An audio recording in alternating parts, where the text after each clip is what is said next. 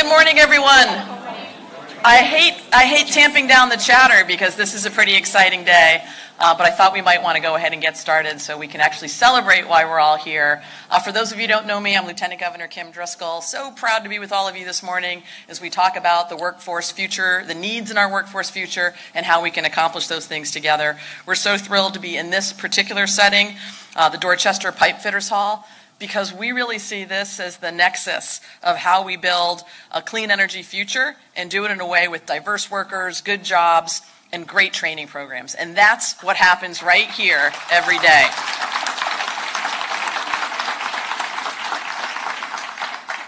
You know, when Governor Healey and I um, took office, um, the governor was fond of saying, and she still does, I, I was just we just wrapped up a call this morning out in the parking lot. And I said, I'm heading into the pipe fitters hall. She said, Oh, I wish I was there. Remember, we see the climate crisis as both our greatest challenge, it really is, but also our greatest opportunity in this Commonwealth. And if anybody can figure out how to advance a clean energy future in a way that's smart and technical, where more people win, I think that's right here in Massachusetts. You may have seen some of our most recent announcements the Mass Community Climate Bank. We're focused on a climate bank, the first in the country, that will help us expand affordable housing, ensuring that we have both uh, healthy and high energy efficient buildings in places that, frankly, typically have been underserved, doing this in a way that builds equity and fairness when we think about environmental justice. Our historic offshore wind solicitation, designed to ensure not only good paying jobs are created along our coastlines, but that Massachusetts is a leader in the offshore wind industry providing huge amounts of clean energy that we know we need. And today, we're so thrilled to be making another exciting announcement that will help build, not only build wealth and grow in our economy, but also advance our climate goals, a true resilient future. Uh, one of the reasons that we're doing this here in this particular space is because we know the value of having good union trained jobs as we think about building out this more resilient future. And so we're so pleased to announce that through the Mass, Ener- the Mass Clean Energy Center, we're awarding $18 million to support, support over 40 organizations that will train workers across the Commonwealth in climate critical fields.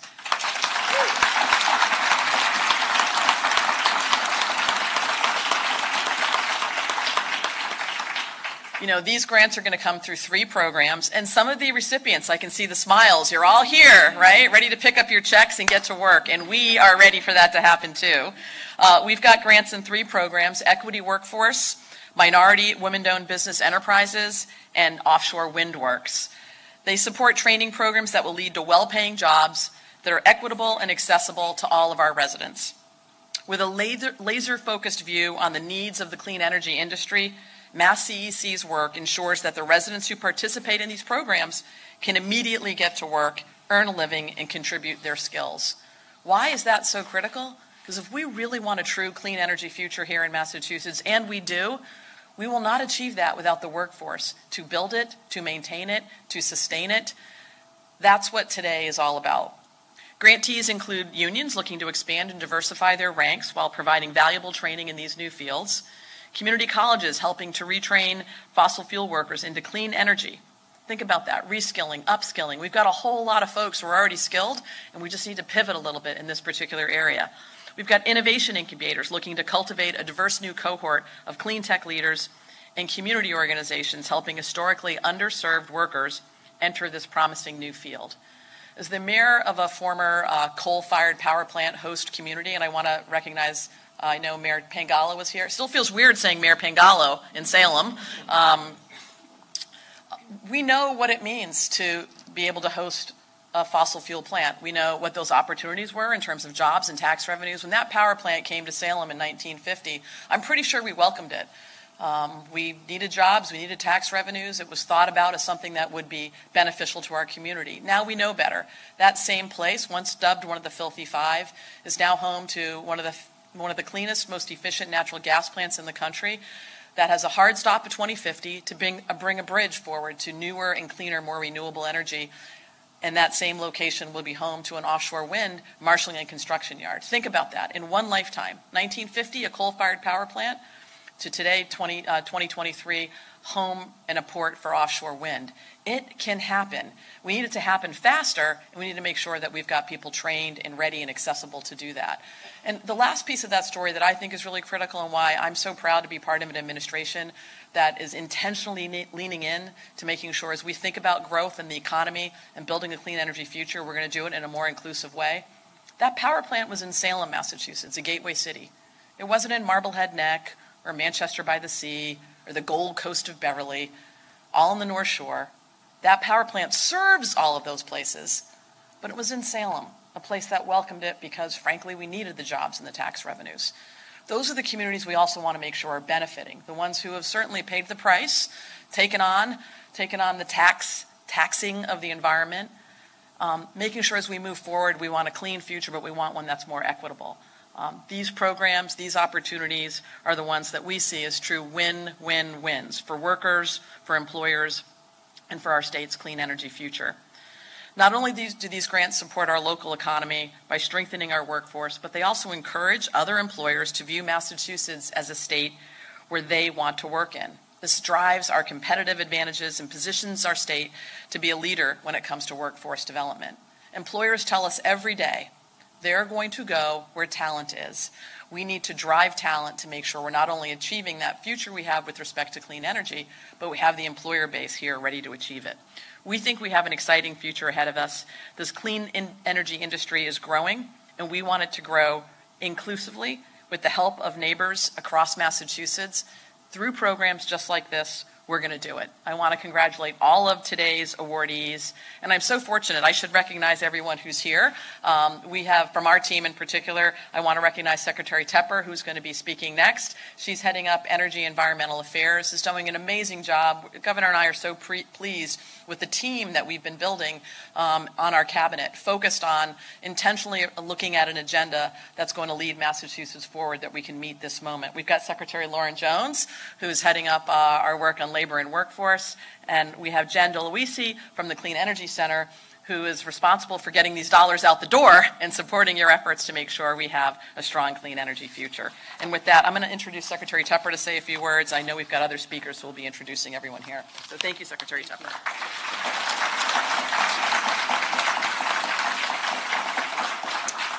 Thank you. Thank you, Lieutenant Governor. We're so lucky in this state to have such strong leadership right from the top um, on clean energy and climate. And the Lieutenant Governor has been an avid champion of clean energy since she started in Salem and here now um, for the for the rest of the government. And you know, I was looking as I was talking to people as I was coming in. I think it's worth pausing for a moment and thinking about how lucky we are to be living in Massachusetts. Every person here, our legislature, our unions, our government, our local government, our businesses, we are all on board with a clean energy transition. You can't say that about every place, but all, all of you come from different places and all of us are working on the same goal. It is a unique opportunity. It is a life, a once in a lifetime opportunity for us to change our economy, create jobs, and do it together. So um, I, thank you so much for, for having us here today, and we're really excited. You know, I think I have said this before for people who have already heard this, I apologize, but the heroes of our climate, our climate future, are going to be the workers. It's going to be the electricians, the plumbers, the builders, the innovators, that's who's going to make sure that we get to where we need to get to in 2050, which, as you know, in Massachusetts is net zero emissions by, by 2050. Um, so I think uh, one of the things that we have done recently is um, a report on thinking about how many clean energy jobs. Um, Mass CEC did an excellent report on thinking about how many clean energy jobs we actually are going to need. Um, and we estimate that, that 38,000 clean energy workers are going to be needed by the end of the decade. So that's, that's a lot of workers. But it's, a ton, again, a ton of opportunity. Um, you know, that's a 37% increase from where we are today. A big task. Um, but that's why we are so grateful that the governor and lieutenant governor have prioritized investment in workforce development and that we have Secretary Jones carrying it all out. Um, as you all know, Secretary Jones is not just a leader um, in uh, workforce development, but she's a leader in helping us get to the climate uh, goals that we need to get to. So I'm really happy that we have this cross secretariat um, cooperation, a whole team Massachusetts um, uh, working hard on, on the clean energy transition. And as the lieutenant governor said, one of the things that is the most important to us is that equity be at the heart of every initiative that we're doing. And the climate crisis presents us with an opportunity to right past wrongs and build healthier, thriving communities. These industries are rapidly growing to meet this moment and are paying good paying, family sustaining jobs, jobs with strong wages and fulfilling work. That's why these programs are structured specifically to attract women and people of color to these fields. Because the people who have been most deeply impacted by the climate change should be the ones who benefit the most from our clean energy transition. So, thank you all for joining us. We're very excited to talk about these grants today. Um, one of the best parts of my job is doing events like this and giving out money um, to deserving uh, parties and uh, talking about all the great work that you're doing um, and, and how you're using the money. So thank you, and I'm going to turn it over to Secretary Jones.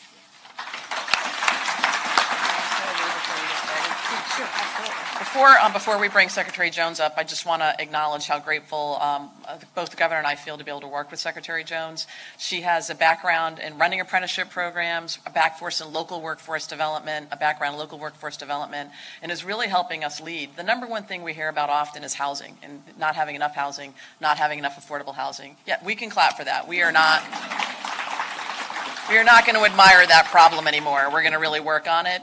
Um, but the second issue is talent in workforce development and not having enough people to fill jobs or having the right skills that folks have um, that, that, that employers have needs for. And the background that Lauren brings to this work is so critical, having both private sector experience, apprentice training experience, and the ability to bring all that to bear in our labor and workforce strategies. The second person who I didn't recognize right on the floor the first time is Shamia Turner, who is one of our recipients today, like all of you you running a building pathways program. And we are so as the as the spouse of a union bricklayer like so excited about building pathways programs in this particular area are tied to, to clean energy recognizing that we want to invest in programs that are providing uh, pathways for young adults and others who want to be upskilled or reskilled or see this as a profession. So thank you for joining us. And lastly none of these programs are possible without support from the legislature. We are so fortunate that as secretary tepper mentioned we have a lot of alignment. We're not uh, a, a commonwealth that doesn't believe in climate change and making the sorts of investments,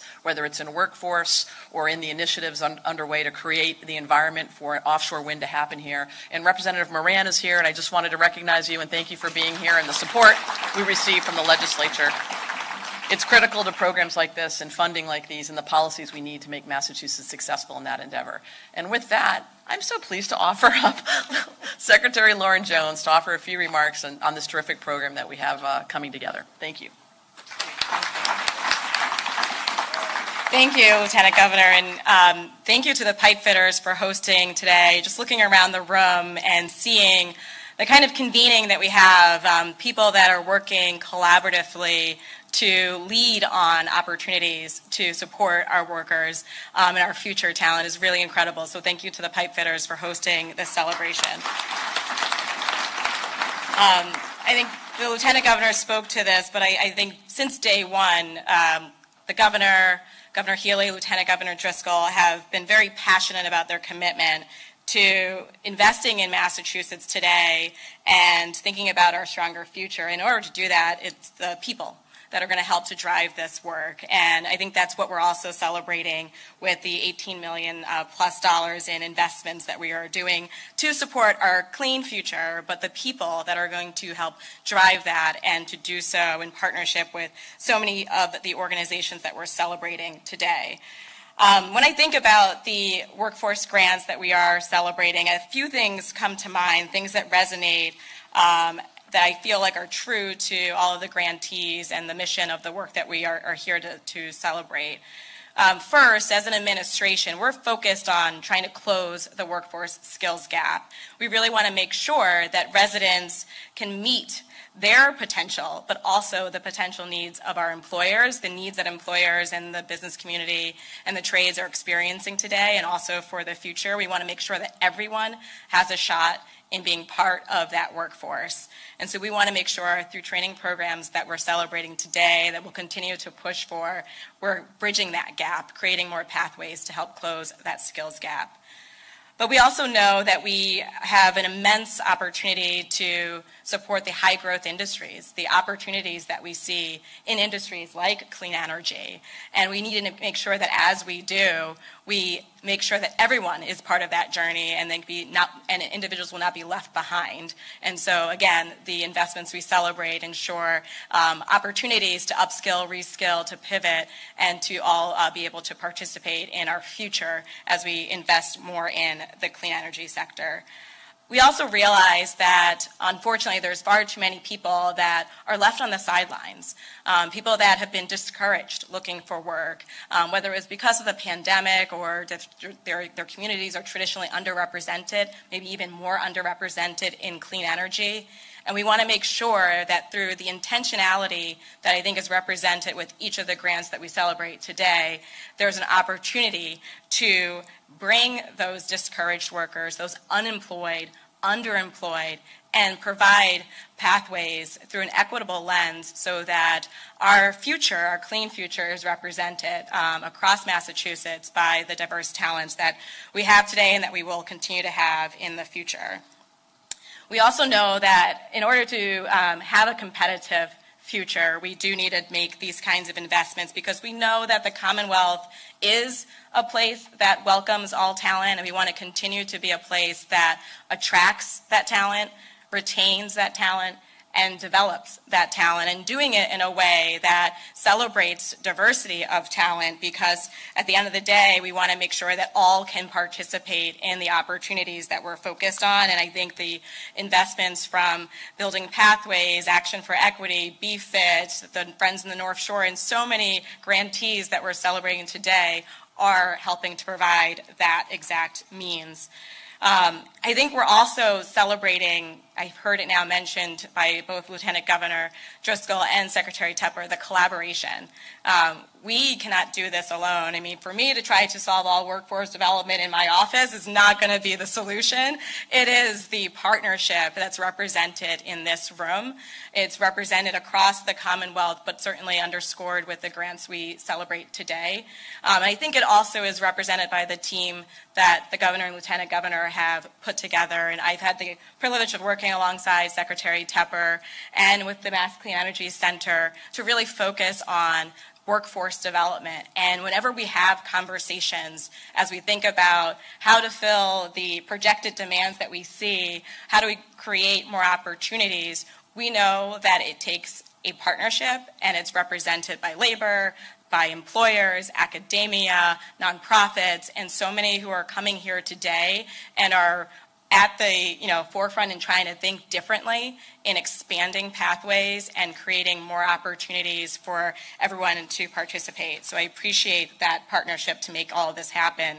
Um, and with that, I'd love to introduce Jen Daloisio to help speak to the important work that the Mass Clean Energy Center is doing. Um, you've been a great partner to me as Secretary of Labor and Workforce Development, and I think to the administration as we focus on advancing our workforce for clean energy. So, Jen.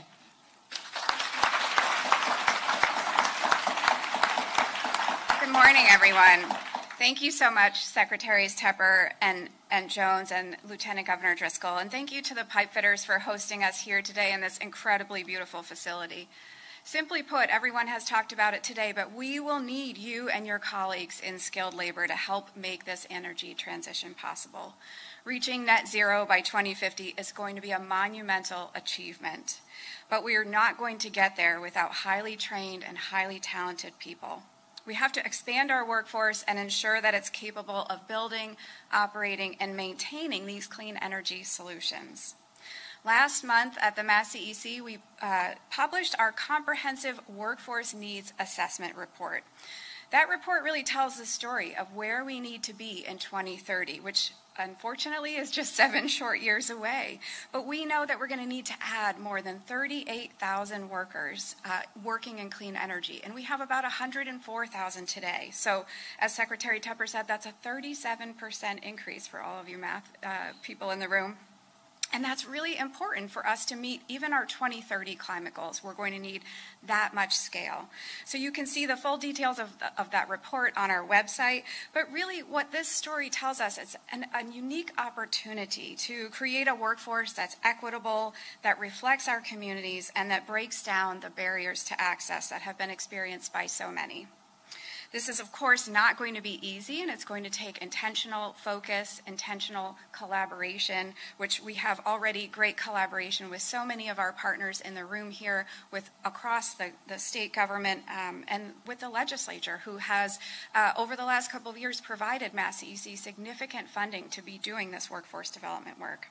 Um, but this will help us make sure that the, those most impacted by climate change can be at the forefront of our efforts to mitigate climate change. Today, we're so proud to be here to announce over $18 million in workforce funding for 44 different awardees through three of our workforce development programs that we have at Mass CEC.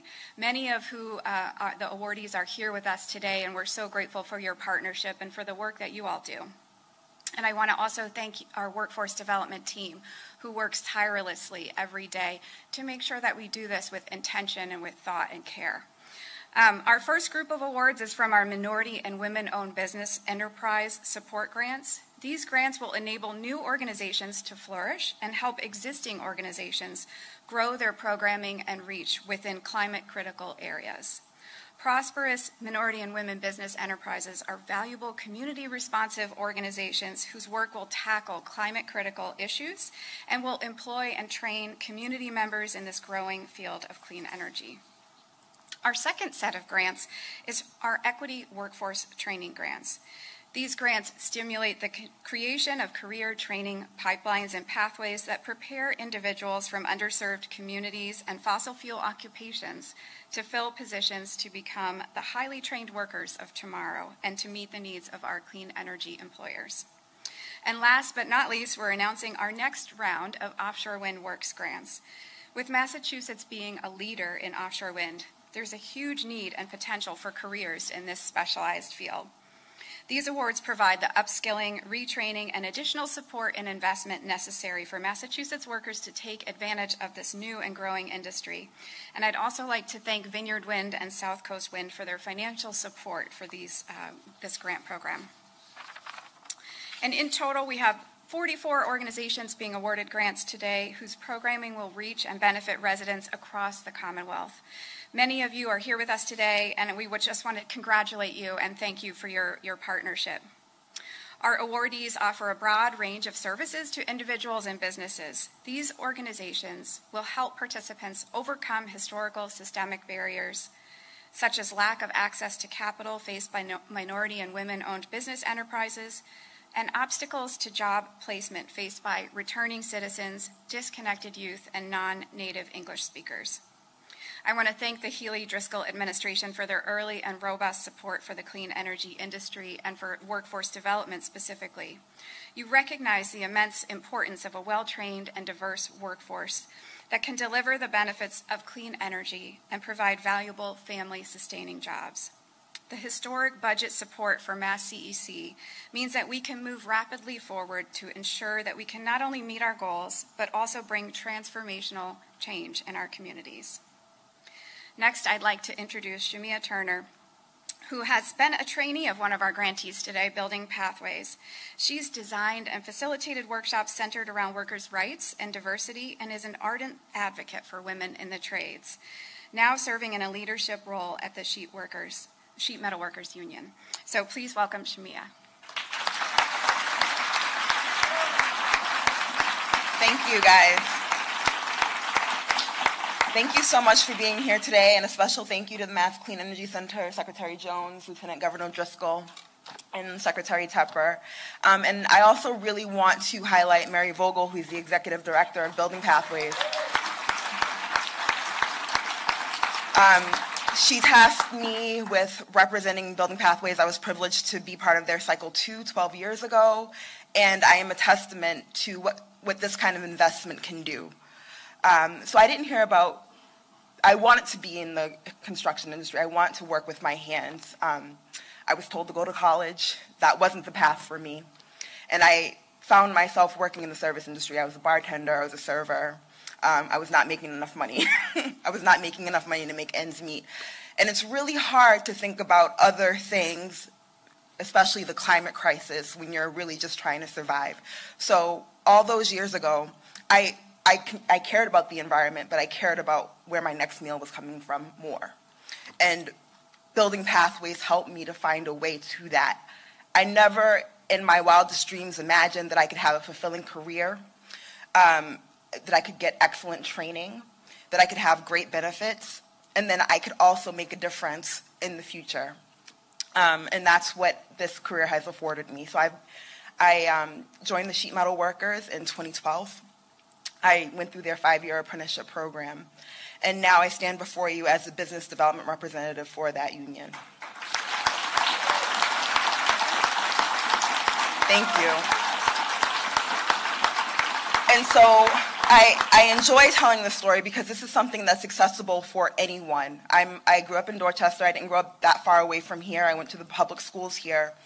Um, and there are other people in this room who have a similar story to this, who didn't realize how they could um, provide for their families and then reach back into their communities and pull them up. And the unions are the fastest way to do that. Um, and so I'm privileged here to represent labor. I'm privileged here to represent the building trades and the power um, of, of that movement. And thank you. And what I would want to leave with any young person, the people who are going to be benefiting from the, uh, from the grants from the, the Mass Clean Energy Center, is that you have agency in your future. You have the power to not only get your hands dirty and build it, but you also have a voice. And this, all of you in this room are helping to make sure that we have a stable platform to have good union, sustainable careers that are equitable for the future. So thank you so much um, for the investment. It's my absolute pleasure to get up here and um, to shout it from the rooftops that we are grateful. Thank you so much.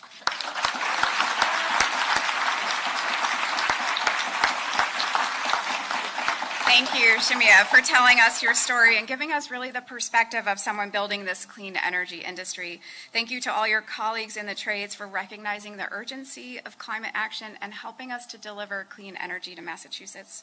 Thank you again to Lieutenant Governor Driscoll, Secretary Tepper, and Secretary Jones, and our elected leaders here with us today. And importantly, for all of you grantees joining us today. You have exciting work ahead of you, and we're really looking forward to the partnership and future success.